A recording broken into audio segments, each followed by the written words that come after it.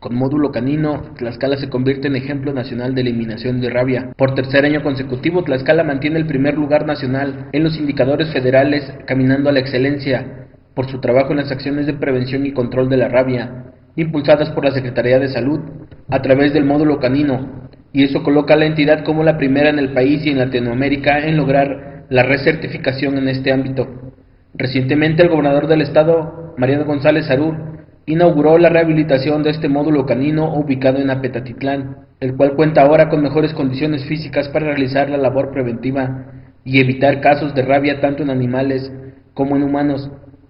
Para realizar estos trabajos fueron invertidos en el año 2013 un monto total de 1.2 millones de pesos en la rehabilitación del inmueble y compra de equipo de alta tecnología.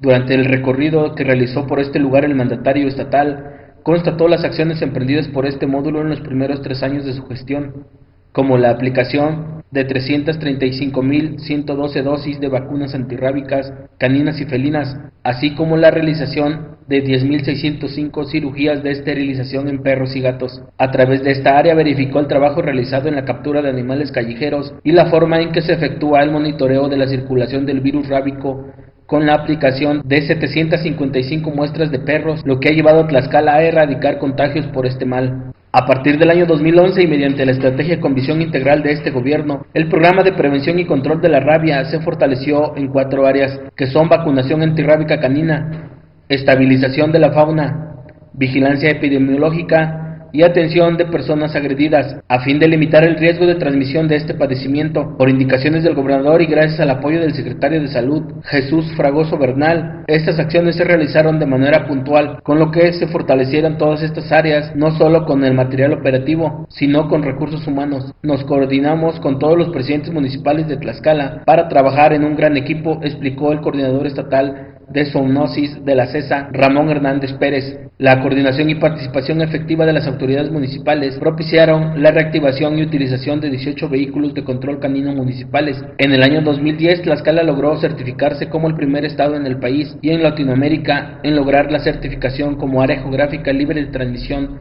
de la rabia canina y además obtuvo el segundo lugar nacional en el ejercicio Caminando a la Excelencia. Para el año 2011, con el trabajo de González Arur, la entidad obtuvo el primer lugar nacional encaminando a la excelencia que mantuvo en 2012 y 2013. En el año que concluyó, Tlaxcala se constituyó como el primer estado en el país y en Latinoamérica en lograr la recertificación como área geográfica tras lograr la eliminación de la rabia canina. El módulo canino estatal fue inaugurado el 16 de septiembre de 1985 para atender acciones tendientes a prevenir y controlar los casos de rabia en humanos en la entidad. El entonces gobernador del estado, Tulio Hernández Gómez, y su secretario de Salud, Luis Carvajal Espino, gestionaron los recursos necesarios para construir y equipar el edificio que ocupa este centro.